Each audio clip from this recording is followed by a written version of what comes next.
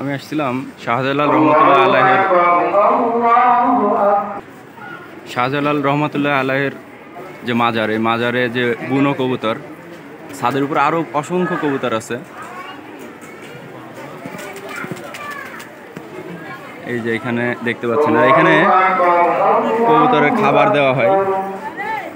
এখানে কবুতরের যে খাবার দেওয়া হয়েছে, দেখেন, এটা হচ্ছে সম্পূর্ণ বুনো কবুতর।